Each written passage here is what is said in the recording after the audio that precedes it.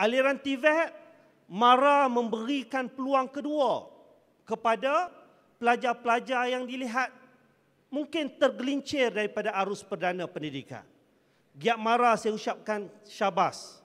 Sentiasa prihatin dan memberikan peluang ini kepada anak-anak Melayu kita. Ya, orang yang tak ada SPM pun kita masih menerima mereka.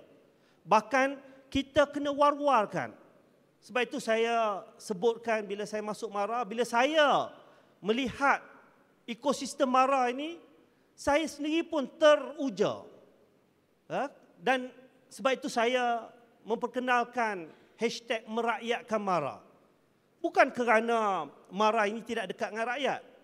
Tetapi kadang-kala dalam zaman fitnah akhir zaman, teknologi maklumatnya dan informasinya di hujung jari, silap kita menangani satu-satu isu dan maklumat, kita akan dilihat menjadi liability dan fitnah.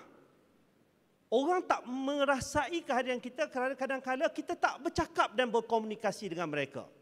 Kita kena ulang-ulang kepada mereka bahawa Mara ini menyumbang besar kepada orang Melayu, kepada Bumi Putra, kepada orang Tibet, anak-anak kampung di luar sana, orang yang tak lulus SPM, kita bagi peluang